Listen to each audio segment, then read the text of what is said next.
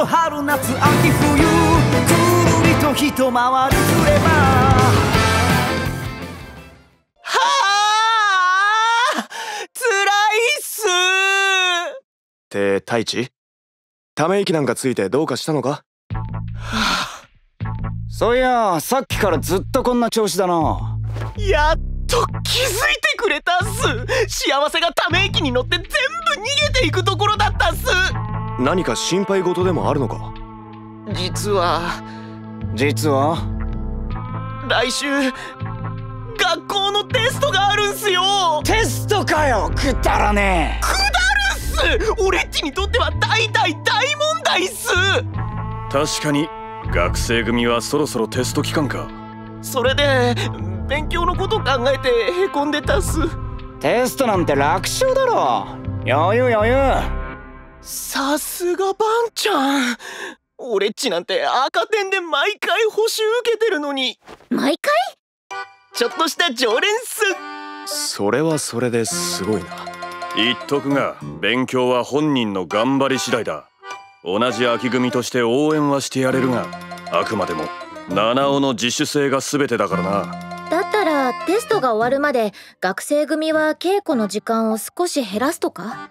俺は稽古がして。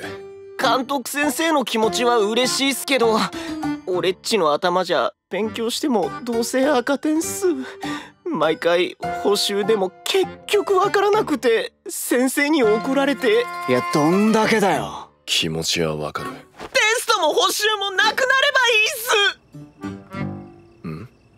おいちょっと待て。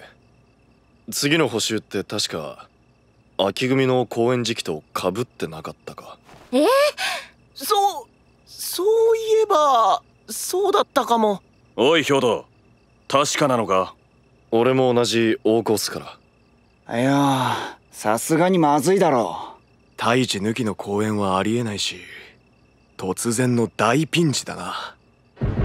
七尾ちょっとつらかせ。作業に言いたいのは勘弁してほしいっす。左京さん太一くんをどこに連れて行くんですか？決まってるだろこいつの部屋だ。え？ちょあ腕を引っ張らないでほしいっす。時間がもったいない。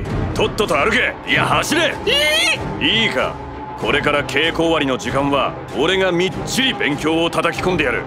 泣き言は許さねえ。おえ左京さんに火がついた。さっき勉強は本人の自主性だって。黙ってろ。言っとくが寝られると思うなよ。お手柔らかにお願いしたいっす